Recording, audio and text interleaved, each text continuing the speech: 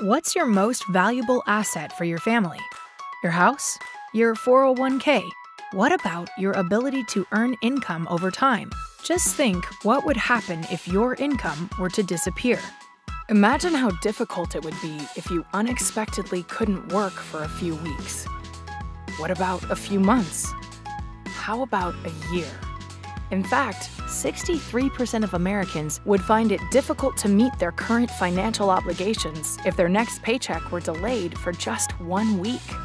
At New York Life, our group disability insurance doesn't just cover injuries, but illnesses and maternal leave as well. Talk to a New York Life agent to find a solution that could benefit you and your workplace.